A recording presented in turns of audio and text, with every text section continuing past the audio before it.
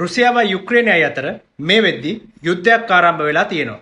මෙතෙන්දි අපි මූලිකවම බලන්න ඕනේ කාරණය තමයි මේ යුද්ධය ලංකාවට මොන විදිහේ බලපෑමක් ඇති කරයිද කියන එක. මේ යුද්ධයත් එක්ක ලංකාවට මුලින්ම මුහුණ දෙන්න වෙන ප්‍රශ්නය තමයි තෙල් මිල.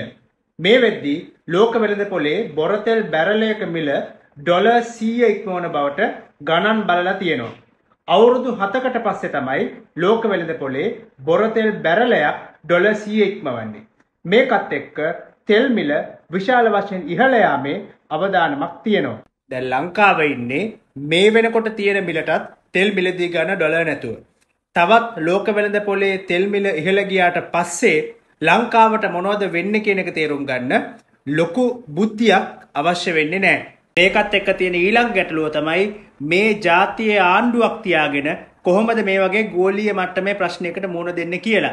මේ වෙද්දී ලංකාවේ ආණ්ඩුව ආර්ථිකය සහ මුලින්ම විනාශ කරගෙන ඉවරයි.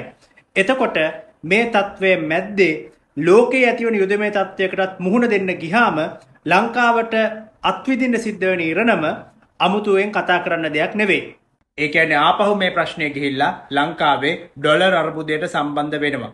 මේ ඩොලර් අර්බුදය විසඳගන්නේ නැතිව අපිට කොහොමත් ලෝකයෙන් එල්ල වෙන අලුත් අභියෝගයකට මුහුණ දෙන්න අමාරුයි. ලංකාවේ ඇත්තරම මොලයක් තියෙන ආණ්ඩුවක් හිටියනම් මේ වෙලාවේ කරන්නේ මේ ඩොලර් ප්‍රශ්නයට තිරසාර විසඳුමක් හොයන්න උත්සාහ කරන එක.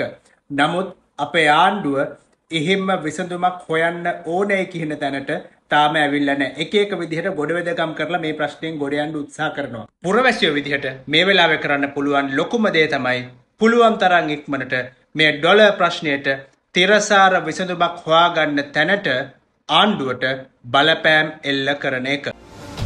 The News Reporter වාරණයෙන් තොර අපක්ෂපාති වාර්තාකරණය